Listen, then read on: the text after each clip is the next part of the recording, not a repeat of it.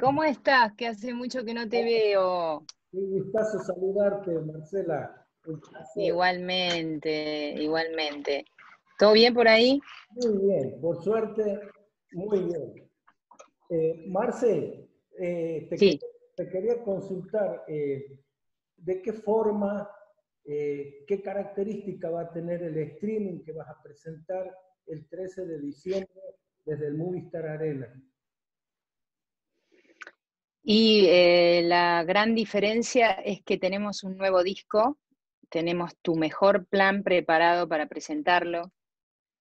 Y ese, ese plan se va a intercalar con el repertorio que me viene acompañando de siempre, desde hace ya 23 años que empecé a, a coleccionar mis discos, digamos, y a coleccionar mi grupo de canciones que eh, infaltables para, los shows.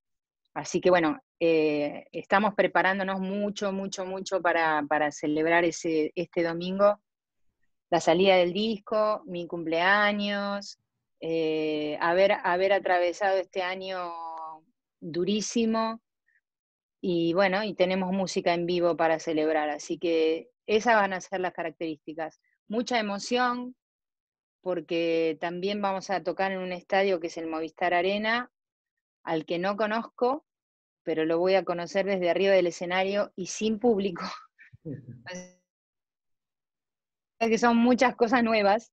Eh, y bueno, y experimentar lo del streaming, ¿no? Esto de, no, de no haber público y, y bueno, eh, eh, pero, pero va a haber público eh, desde otro lugar, ¿no? Acompañando en lo espiritual, en la conexión esta álmica, que, esta conexión de, almas que, bueno, que va a haber, ¿no? Así que eso más o menos va a ser por ahí.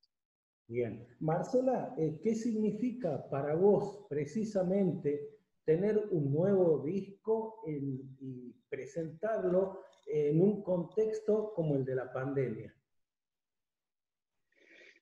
Y yo lo veo, lo veo como positivo, muy positivo en, nuestro caso familiar, digamos, ¿no? Porque eh, fue un año difícil para todas las personas, eh, en, el mundo entero literalmente.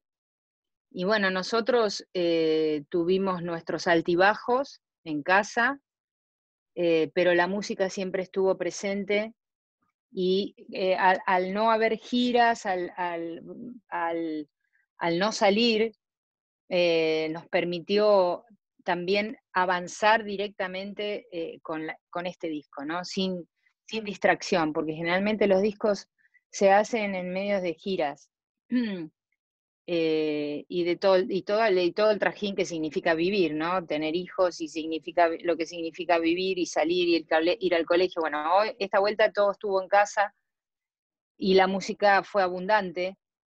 Entonces, eh, significa mucho este disco para mí en este año. Significaron mucho estas canciones cuando yo salía a cantar sola por los bares y cantaba estas canciones, aprendiendo mucho del oficio, eh, siendo yo plomo, yo músico, yo cantante, eh, eh, yo hacía todo. Entonces, este, significó mucho en ese momento este repertorio que me acompañó en aquella época. Y fíjate cómo son las vueltas de la vida que elegimos otra vez este repertorio para un año muy inolvidable. Con lo cual, tiene un significado y un valor de, bueno, de esfuerzo, de, ponerle garra todos los días, de confiar, de confiar en que, y de, la, de acompañar eh, con música, porque la música acompaña, todo, muchos momentos en las personas que se transforman en inolvidables. Y esta, estas canciones otra vez se van a transformar en inolvidables porque este año es inolvidable para todo el planeta. Con lo cual, haberlo atravesado es de un significado muy valioso para mí y para mi familia. Eh, Marcela, eh, ¿cómo logra un artista o qué, de qué recurso te has valido vos y quienes produjeron este disco para este, recrear, reinterpretar estas canciones que ya tienen un camino andado larguísimo? Larguísimo. Muy conocidas por otros intérpretes que adoramos, la mayoría, y son canciones preciosas. La producción está a cargo de Rodo, de Rodolfo Lugo, mi marido, con quien trabajo y con, en el que confío plenamente. El que siempre me toca y me pone el dedito así como para decir, metete en un lío, Marce, porque meterme con estas canciones que ya están recontra conocidas por otros intérpretes fue realmente un desafío. Lo es. Recién está nuevito el disco, recién salido. Este, pero para ver si me perdí en la pregunta. Te, había preguntado eh, de qué recursos te has valido, tanto vos como tu esposo, para eh, darle, para recrear estas canciones que ya tuvieron un camino transitado y larguísimo. Sí. Y los recursos son los que nosotros tenemos como músicos, como, como músicos que anduvimos mucho, este, que pateamos mucho la calle, que salimos de gira, que también hacemos nuestras propias canciones. Todo eso te hace tomar coraje, eh, son herramientas para encarar este, cualquier canción eh, y con mucho, con mucho cuidado, cuidándola, aunque no sea nuestro repertorio, es cuidarla, porque eh, las canciones yo las, yo las cuido, digamos, ¿cómo decirte? Una vez que una canción la canto, ya no se me olvida más. Entonces, como que el recurso está en mi interior, ¿no? O sea, yo, yo amo esa canción, la considero en mi vida, la, me hace acordar un momento.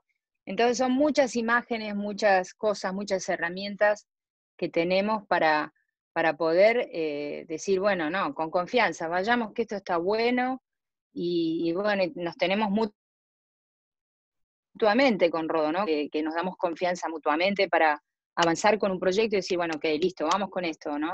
Y, todo lo que sabemos de, somos ya gente grande que, vivió mucha gira, mucho, mucho show, mucha, muchas vueltas. Entonces, eh, todo eso a la hora de hacer nuevas cosas eh, están dentro nuestro y, y, tienen que aparecer, aparecen, ¿no? Y salen, y ahí se ponen, ¿no? Eh, Marcela, en este tu nuevo disco eh, hay autores latinos eh, muy poderosos de quienes recreas uh clásico. Digo, Celia Cruz, Chayán, Cristian Castro y Juan Luis Guerra. ¿Qué sensaciones te genera cantar sus canciones y, por lo que me decías en un inicio de la nota, vivir ese tiempo pasado tuyo que te han acompañado con, con estos autores y estos ritmos? Yo admiro a estos autores. Este, canto también, por ejemplo, ayer de Gloria Estefan, ¿no? Eh, esa, canción eh, me trae tantos recuerdos hermosos. Yo admiro esa, esos artistas. Juan Luis Guerra, lo adoro, conozco toda su discografía. Eh, me encantan Cheyenne, Ricky Martin como artistas, todo lo que brindan, como son, este Cristian, el mismo Cristian, su voz que tiene. Y, todo, todo eso, eh, o sea, mi admiración hacia, ellos está puesto en esto. O sea, se, debe de escuchar porque eh, yo aprendí mucho de ellos. Aprendo mucho de Juan Luis Guerra, de Gloria Estefan, artistas que, que hace más tiempo que están en, eh, eh, popularmente conocidos y con más discos que yo y más trayectoria. Para mí son referentes a los que respeto mucho y, nosotros consumimos esa música, la escuchamos, nos gusta mucho. Este, eh, respondí la pregunta. Perfecto, ¿no? Perfecto, perfecto. E, e, era eso precisamente, la importancia que tienen eh, en tu vida autores de, la talla de lo que te he nombrado. Eso era en concreto y la respondiste perfectamente. Eh, Marcela, otra cosa que te quería consultar es, eh, a propósito de los artistas latinos, hoy como nunca la música latina no conoce fronteras. Inclusive tu propia creación se, se escucha y se disfruta en otros países eh, que no sea en América precisamente. Eh, ¿A qué se debe esto? Eso sí que no lo sé. Eh, yo soy una, fiel trabajadora, pero después las canciones, eh, así como yo las cuido cuando las interpreto, cuando las compongo, por supuesto, cuando las grabamos, todo, después tienen vida libre, son libres. Eh, la música se, atraviesa fronteras que yo nunca podría atravesar, ni llegaré a todos los países que llegan las canciones. Las canciones las transforma una vez que ya salieron de, acá, del estudio, de mi casa, y, ya tengo el, privilegio de que Sony me acompaña, ¿no? una compañía discográfica que me acompaña y trabajan todo sobre el disco, y una vez que se publica, yo ya no tengo más control sobre las canciones, o sea, eh, de hecho, a mí hay cosas que me dice mucha gente por la calle sobre las canciones que de participar sobre momentos muy emocionantes de, las familias, de, alguien que pasó por una situación o que tiene un hijo y que está una canción que yo hice eh, en su vida, ¿no? Eso no, eso no tiene control de mi parte, es como inesperado, es eh, una alegría enorme, es eh, sentirme útil, eh, tiene, bueno, un significado que me hace seguir adelante. Eh, Marcela, estas canciones, en las cuales le das tu propia voz y le pones tu propio corazón y tu propio sentimiento, hablan del amor. Vos en tus propias creaciones de mil formas y ritmos le has cantado. Mm.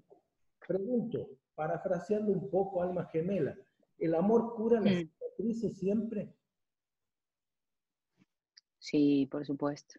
O sea, eh, yo, lo, yo puedo dar eh, eh, ejemplo de mi, propia vida y de, por ejemplo, mis hijos. O sea, el amor, yo creo que siempre lo digo y no, no lo puedo variar, no puedo cambiar eso porque e, es la herramienta más poderosa de los seres humanos. Eh, no lo digo yo sola, la mayoría de los artistas o los que escribimos canciones, eh, cuando, cuando escribís una canción de amor, soñás con que el mundo cambia, se transforma, me pasa algo. Este, y menos mal que tenemos esa herramienta, si no, imagínate cómo estaríamos, porque aún teniendo esa herramienta, tenemos tantos problemas en la humanidad para comprendernos, para respetarnos, que menos mal que tenemos esa herramienta para eh, en algún momento agarrarnos de ella y, y sí transforma. El amor transforma, transforma el pensamiento, transforma lo que uno ve, eh, te hace despertarte, te hace sentirte vivo, te hace eh, el amor hacia uno mismo, ¿no? El amor, el amor a, la, vida, el amor hacia el otro, ¿no? Amor en su amplitud más grande, o sea, es una palabra que para, para analizarla, filosofar y, hablar eternamente, ¿no? Eh, pero yo considero, y, aún eh, con más edad cumplo y, creo que aún más importante, la herramienta más poderosa. ¿De qué manera transformó tu vida la llegada de tus tres hijos? Uy, completamente, completamente la vida transformada. Eh, no, no esperaba ser mamá después de los 50 años. Eh, ya vamos a cumplir cuatro años de convivencia con mis hijos y parecen que están con nosotros de, desde siempre. Es como una cosa que vienen, como que se acoplaron a la familia. Por supuesto no es fácil, no fue fácil, ni será fácil, porque ellos son niños, pero son personas con, con sus personalidades pero estamos muy felices y transformaron nuestra vida en, viste, podríamos habernos quedado en un lugar cómodo, digamos, ya está, ya sin más de 50 años, que ya está. Sin embargo, tomamos este compromiso con precisamente todo el amor eh, el amor muy grande y, mi vida es otra. O sea, definitivamente mi vida es otra, la vida de mi marido y la vida de la familia. Y la energía que hay que tener, mamita. Estoy todos los días, vamos bien con esto.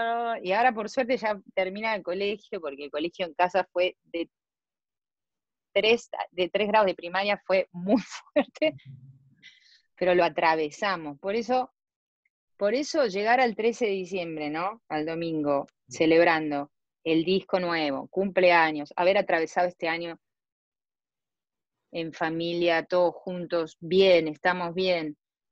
Es muy pretencioso, pero está, es para celebrarlo, es para celebrarlo. Marcela, inevitablemente te quiero hacer esta pregunta porque creo que algún, alguna ligazón tiene. Eh, ¿En qué se parecen y en qué se diferencian tu mejor plan de el otro plan, aquel disco donde versionaste canciones en inglés? Bueno, una es esa la diferencia. Haber versionado en, otro plan, versionamos canciones en inglés también sumamente conocidas y la, hicimos versiones al español. También una jugada era enorme, que, salió muy bien, a, todos les, les, cayó muy bien el disco. Y este son también, porque no son covers exactos, el cover es eh, el tema igual hecho por, hecho por nosotros, por ejemplo. No, hay versiones, hay jugadas versiones de, por ejemplo, La vida es un carnaval, sacarle la introducción y hacer otra introducción de parte de Rodo me parece un riesgo tremendo y yo aceptarlo más riesgo todavía, porque me parecía una locura cuando Rodo me mostró, me mostró, le voy a cambiar la introducción a La vida es un carnaval. Loco. ¿Cómo es hacer eso? Sacarle esa para, para, Bueno, lo sacó.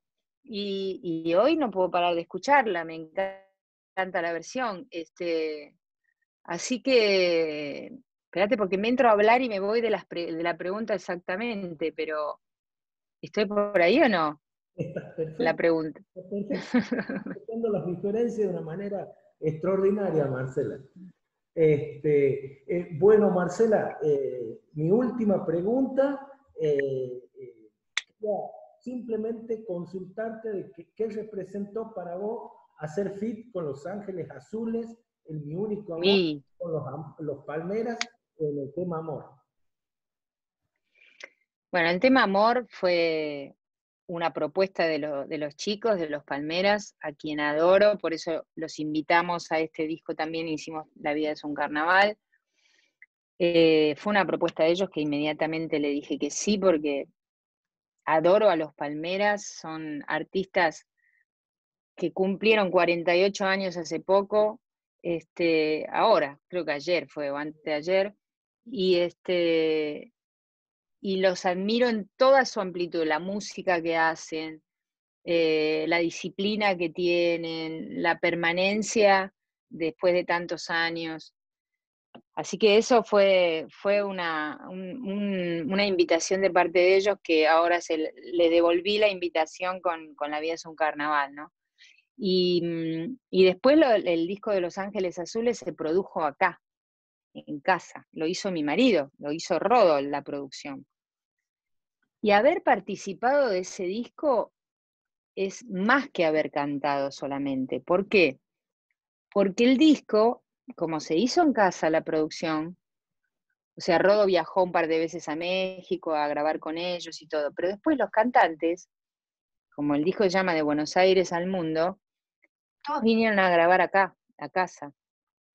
Entonces yo era como la recepcionista y la que preparaba el café, la que o sea, en un momento, bueno, canté porque me invitaron, pero este, es más que haber participado solo cantando. Yo vi la cocina del disco, la pasión que le puso Rodo al disco, el discazo que se armó, el DVD impresionante que se armó, Los Ángeles Azules, que son un amor de gente trabajadora impresionante, con un swing, un ritmo también admirable, y después todo en la cocina que fue acá en mi casa, ¿entendés? Venía, abría la puerta Palito Ortega, abría la puerta era Soledad, Ángela Leiva, Vicentico, eh, todos vinieron, ¿entendés? A cantar a casa. Eh, fue para mí eh, muy, una etapa muy hermosa de nuestra vida, de recibirlos. Aparte venía un equipo de filmación, venía, este, hola. Ahí te veo. Ahí, ahí. Este, venía un equipo de filmación a, casa, entonces ya había tres, tres, personas que venían todas las mañanas y se instalaban en casa, traían factura, traían para tomar, que yo, yo iba, compraba cosas para comer. Fue todo muy emocionante. Un día salgo al patio y había una persona que no conocía con un drum subiendo y bajando el drum en mi casa. Digo, ¿qué es esto? O sea, fue mucha cocina que me hizo participar muy de adentro del disco. Así que adoro ese disco y Hola, es que me está entrando un llamado, perdón. ¿eh? Adoro ese disco y adoro, adoro Los Ángeles Azules.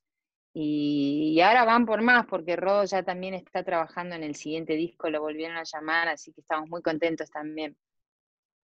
pura cumbia acá, ¿eh? una etapa pura, pura cumbia. bueno, Marcela, te agradezco mucho tu tiempo y lo mejor para vos. Muchas gracias. Te mando un beso enorme, un gustazo verte. Eh, hacía un montón que no nos veíamos. Así que muchas gracias, espero que estén todos bien por ahí. Y bueno, el domingo a, las 20, a las 8 de la noche, en Movistar Arena estaremos ahí. A ver si podés verlo.